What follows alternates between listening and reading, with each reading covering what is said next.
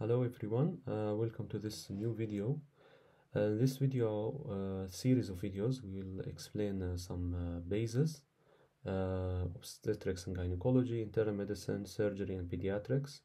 Before I explain them, um, I want to explain to you how you can get these bases for free. They are the most updated bases for Krok questions and they will help you a lot in studying subject uh, wise so only subjects uh, if you uh, want to start with this.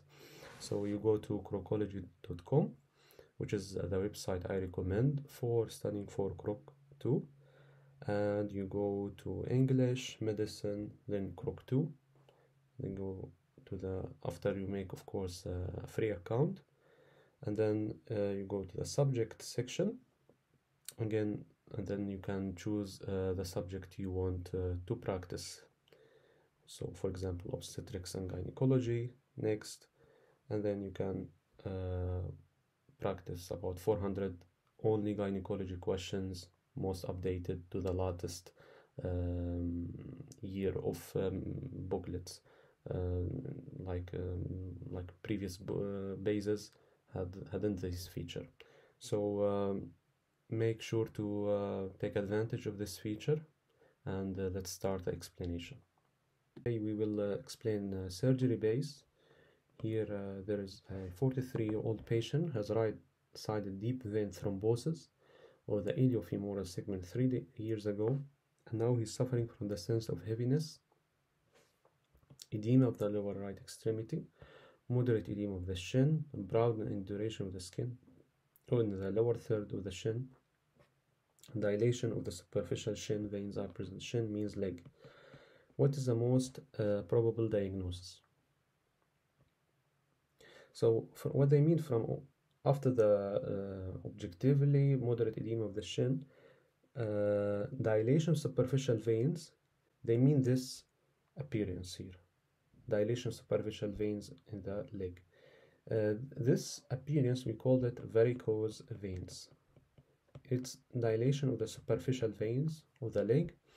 It happens because of uh, accumulation of blood in these veins because the blood cannot go upwards through the uh, venous uh, system.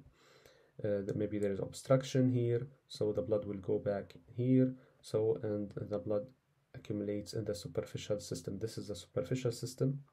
This is a deep venous system on this left side on the right side this is the uh, superficial system. So what causes one of the causes that the super, uh, blood accumulates in the superficial veins this part is defect in the deep system. There is deep vein system defect like thrombosis for example here. There is obstruction here. This pushes the blood to other areas and dilates this place leading to this appearance so if you look at the disease varicose veins, uh, the pathogenesis a reflux of blood through the vein due to incompetent venous valves. So uh, after some time, because of this accumulation of blood here, these valves, which should keep the blood upwards, it should like push it upwards, and when it goes backwards, it should close. Because of accumulation of this a lot of amount of blood, these valves will fail and accumulate uh, blood will accumulate here and not go up. Anyway one of the causes of varicose veins is deep vein thrombosis which is what we, we spoke about. It's uh, if there is a, a thrombus in the deep vein system causing the blood will accumulate in the superficial vein system leading to varicose veins. And they will look like this dilated superficial veins as you see. And when it's caused by deep vein thrombosis we call it post-thrombotic disease we call it in this case varicose veins that are caused that are caused by deep vein thrombosis post thrombotic disease. So they are after deep vein thrombosis post thrombotic disease. And yes this is it. And so this question the answer should be post thrombotic thrombophlebitic syndrome varicose veins because the patient had deep vein thrombosis three years ago Next, we have a 34 year old patient was delivered to the first aid center with open fracture of the lower leg bones. Uh, upon examination, bleeding blood flows in the pulsating bursts. So uh, what action should be uh, taken? So he had fracture of the lower leg and he has bleeding in the form of pulsing, pulsating bursts. So we need to uh, uh, uh, determine the type of bleeding here. Is it arterial? Is it venous? Arterial bleeding is bright red blood and pulsating, like because it's arterial. Arteries have like pulse, right? So the bleeding will have also like be pulsating, not continuous, like in the venous blood.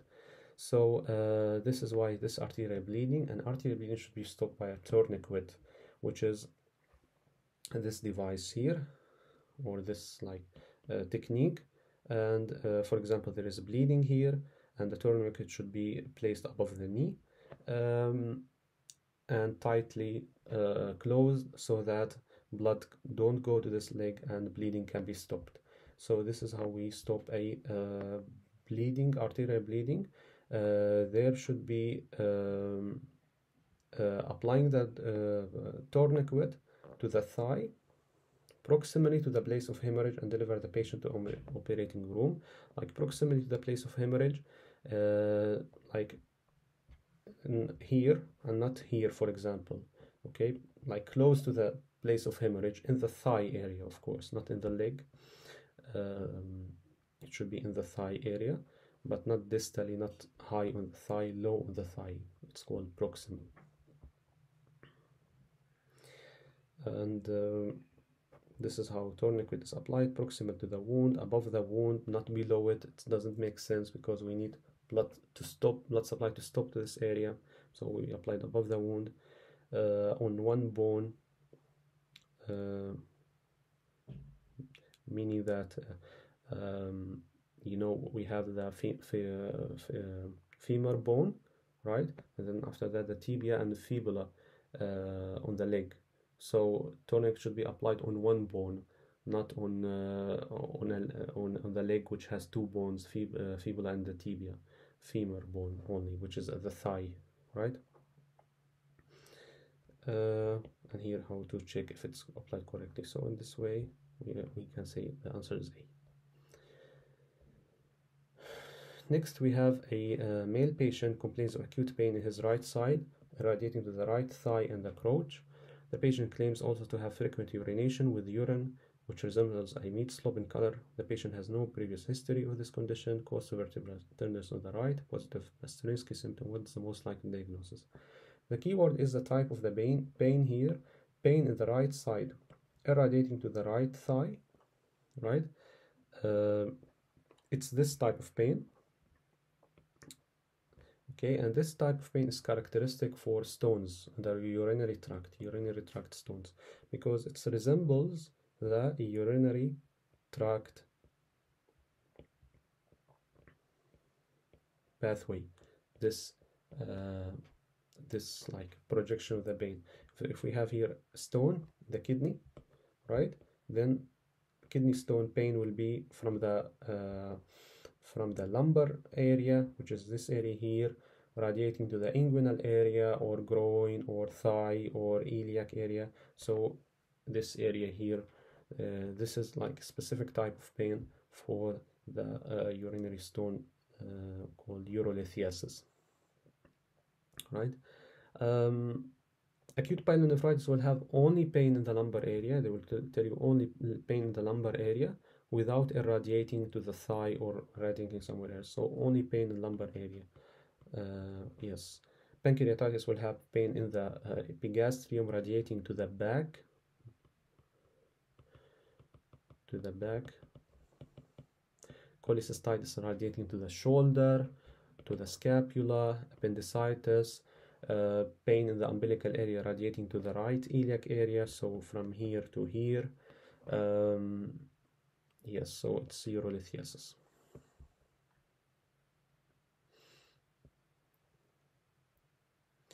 Okay now pay attention. This is like pleural diseases they are very important in Cochrane they get asked a lot. So here we have a patient who was delivered to a surgical department after a road accident with a closed trauma of the chest and right-sided rib fracture. The patient was diagnosed with pneumothorax. It's indicated to perform a drainage of pleural cavity. Where to do the drainage? Uh, pleural puncture should be made. Uh, if we speak about pneumothorax, what is pneumothorax? Pneumo means air, thorax in the chest cavity. So it's air in the chest cavity. It can happen because of injuries that the um, there's injury to the chest cavity and through this injury air got inside the pleural cavity. So what is the pleural cavity? This is the lung, right? This is around it a pleura, right? So uh, we, we are speaking about air that is in this area here. If, uh, this is called pneumothorax. So uh, the treatment in this case will be to drain this air and drainage of this air will happen in the second intercostal space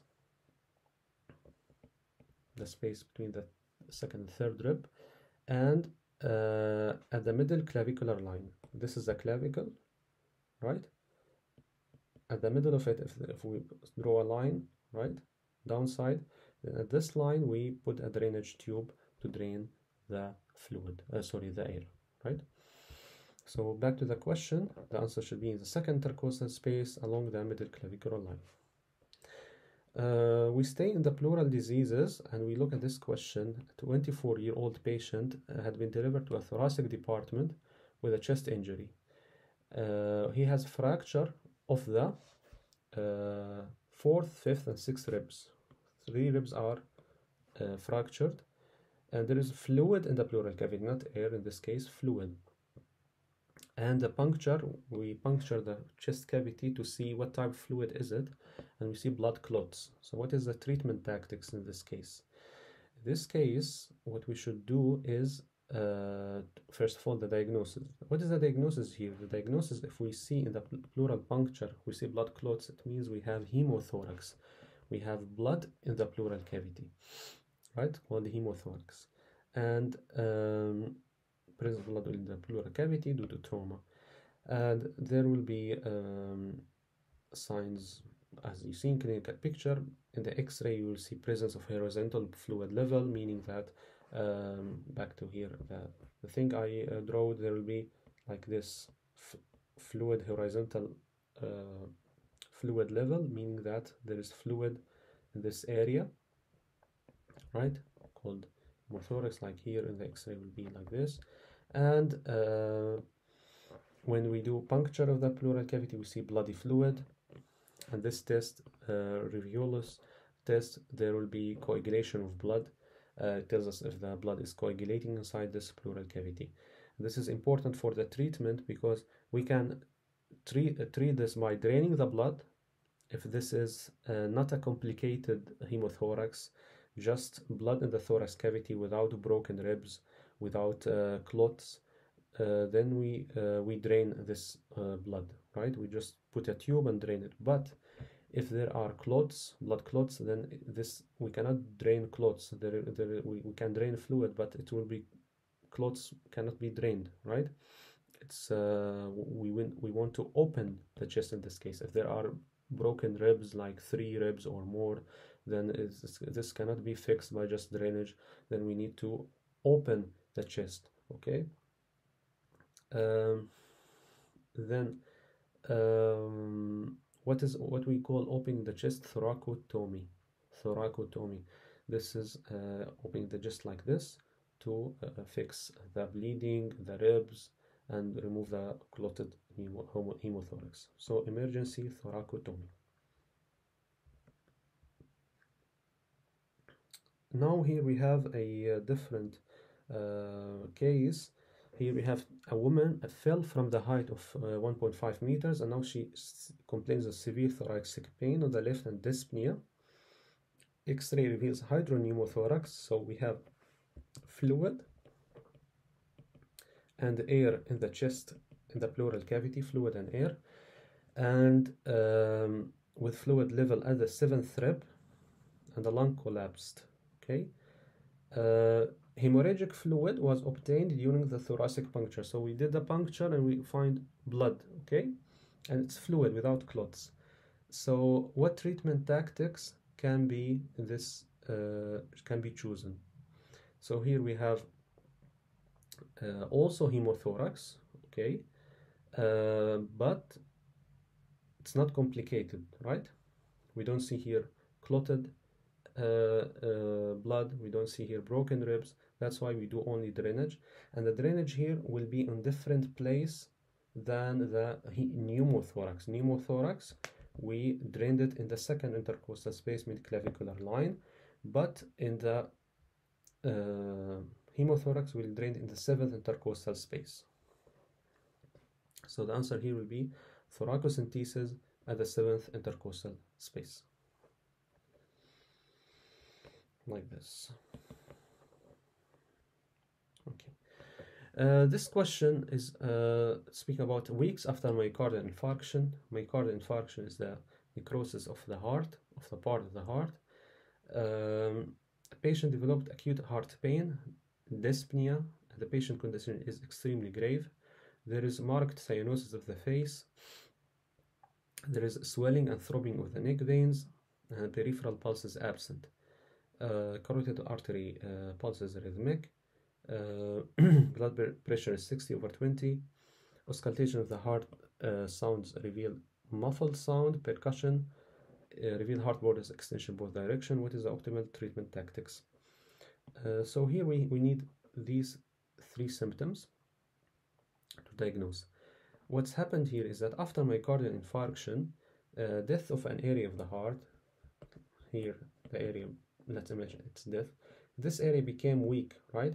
And it's uh, susceptible to, or there is a high risk that this area develops aneurysm, uh, that bulging of the area of the heart, and this aneurysm can rupture, right?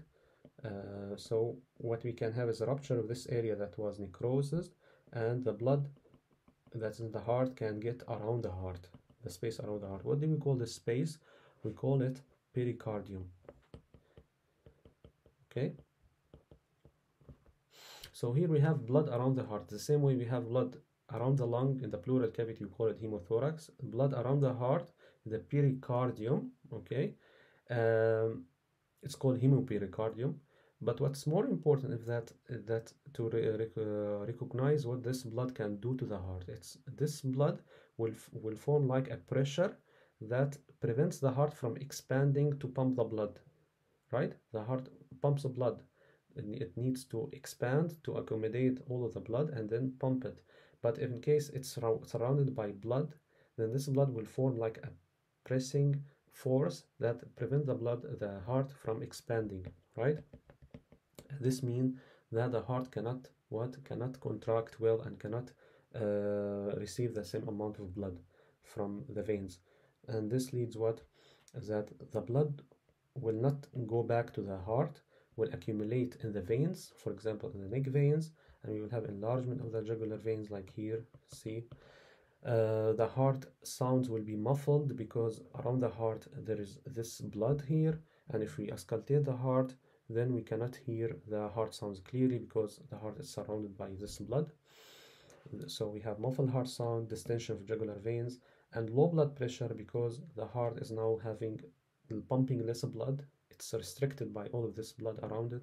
So pumping less blood to the aorta, so low blood pressure. This is called Beck's triad, and it indicates cardiac tamponade, which is the disease here. It's called cardiac tamponade. It's an emergency condition that's characterized by impaired filling of the ventricles due to increase in pressure around the heart. It can happen to myocardial infarction and other things. Um, diagnosed by echo, these are all uh, Krok questions. Diagnosis, uh, how to, uh, the clinical picture. Echo will, will, will which is ultrasound of the heart, will show expanded heart borders. X-ray also can show the same things. The treatment is very important, repeated a lot in Krok questions, is to remove this blood, right? Same way we did with hemothorax, is to do pericardiocentesis, drainage of the fluid in the pericardium, right? So like this. So the answer here should be, uh, of course, we should drain the fluid, right? And to fix the area that is ruptured from the uh, myocardial infarction. So we, we need to do thoracotomy, open the chest as well. So swelling with the neck veins, jugular vein distension, muffled heart sounds, low blood pressure, cardiac tamponade. Next, we have a patient who, who has, after lifting a load, uh, has experienced a severe pain in the lumbar region. Okay, after lifting something very heavy, he will have pain in the back, in the lumbar region. Spread to the right leg, like this. He had it uh, the lumbar region, and now splitting like this to the right leg. Um, and getting worse when he move his foot or cuff. The long back muscles of the right are strained. Uh, jerk reflex is reduced. There is pronounced tenderness of the paravertebral points. Straight leg raise test is positive in the right. What additional tests should be performed in the first place? So first of all, what is the diagnosis here? The diagnosis here is uh, disc herniation or other names for it you can find in Krok lumbosacral radiculopathy. It's the intervertebral disc which is between the vertebra. This this is the intervertebral disc between the vertebra. If it gets outside of its place, it can press on the nerves. Right? When it's pressed on the nerves, these nerves are nerves that go to the leg, to the buttocks area, to the thigh, and it can cause pain in the leg, uh, decrease motor uh, functions, decrease reflexes, the same things that were mentioned in the question, right? Um, straight leg test, it means that pain increase when lifting a straight uh, a leg like this, this straight leg when the when the doctor tries to lift it like more than this, uh, there is pain. So these are all signs of disc herniation intervertebral disc herniation, getting it out of place and pressing, compressing a nerve. Um, what is the diagnosis? Diagnosis, first of all, you should do X-ray of the spinal column, and this is what you should do in first place, radiography of the spinal column. Um, and there is another question, let's read it right now. As a result of load lifting, woman developed pain in the lumbar region, the buttocks and the thigh and the foot. So same thing, after lifting something, the disc got out of its place and pressed on the nerve and produced these symptoms. And they tell you positive leg sign, the straight leg sign we spoke about. What examination method would be most effective for specification of the diagnosis of L5 root? They mean that this uh, discs, okay, they are named by the uh, number of the vertebra. So, for example, this is L5S1. So, how we know that the L5 root is the one that is compressed okay then we need now specification we need more clear picture right uh, x-ray can give you in general if there is disc or not but more clear picture more uh, specification of how much exactly there is herniation by millimeters then we can do this by MRI right? MRI so uh, these types of questions can get confusing. Why is here uh, x-ray and why is there mri they are the same diagnosis but you need to uh, pay attention at what they're asking for. Confirmation specification ct or mri in the first place you do x-ray. The last question we have today is easy. Is a 68 year old man complains of inability to urinate for a day. So he has urinary retention uh, on attempt of urinary bladder catheterization, there was detected a stricture in the urethra. So, so in this, in, in the case there is no urination, we can use a catheter that gets through the urethra, right? Uh, like this. This is a normal bladder catheter that goes through the urethra, right, and goes to the urinary bladder to get the urine outside this is of course a uh, woman's uh, bladder but anyway it's just uh, not like the question it's a man. But uh, it's the same thing in women and men uh, urethra and then urinary bladder uh, catheter. Right? So what they found in, the, in that it's called urethral bladder catheterization. But what they found in this catheter is that there is a stricture in the urethra. There is stricture means like a constriction, like an area that is like constricted here. That means that they cannot use a bladder catheterization because there's an area that is uh, closed. They can enter the catheter into the bladder. So what we should do in this case, they use cystostomy. So in this case, the bladder is full with uh, urine and the patient has it for one day so we need to get this urine outside as soon as possible so what we do is to take make an incision from the skin into the bladder. The bladder is called cyst this is called incision to the bladder cysto stomy and we make an opening and we make a drainage from there. This is called trocar cystostomy right Another name for it you can find in Krok questions, epicystostomy, cystostomy, suprapubic bladder cap, tap catheter. They all refer to the same thing. We, when we cannot do normal urethral catheterization, we can do uh, cystostomy in case of urethral strictures, tumors, or prostate hyperplasia. Uh, so anyway, anything that can obstruct the normal uh, urethral catheter uh, pathway. So this was surgery-based uh, explanation of some questions. And as last, I want to announce our, about our course with Krokology that includes the explanation of Krok2 booklets the same way we explain these bases. So if you like these videos, make sure to check our course, which starts from January next year. And for more videos, make sure to follow this channel.